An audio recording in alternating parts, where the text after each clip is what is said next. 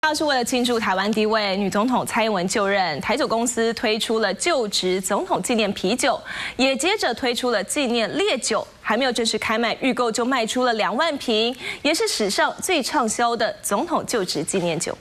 圆滑的瓶身采用白色配上蓝绿色系，看起来高贵优雅。由知名设计师聂永贞亲自操刀，这款装着玉山六年陈高的总统就职纪念烈酒，虽然没有小鹰肖像，不过上面的细节可绝对不马虎。这个色彩有没有？就是用蓝绿的这个色彩，这个整个整个造型哈。这个红是台湾，好，那另外一个红是正副总统的名字，好。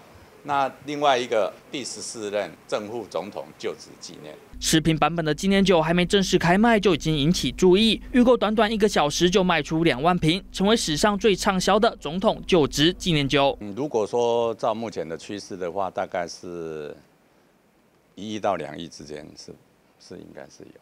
所以是创新高吗？历史新高？嗯，应该以纪念酒来讲的话是，当时过去的话大概都不到一亿啊。另外，台酒还加码推出玉山大曲以及威士忌版本纪念酒，标签上的英人肖像采用简单线条，看起来童趣又有设计感。其他款式我们是今天第一次给各位看到，好，那第一我们奇观毯是我们大概在这个五月底之前就会慢慢把货铺到我们的营业单位去给各位消费者看。小英总统就职纪念酒意外热卖，也为即将到来的五二零总统就职日带来欢庆的气氛。经济日报小平头报道。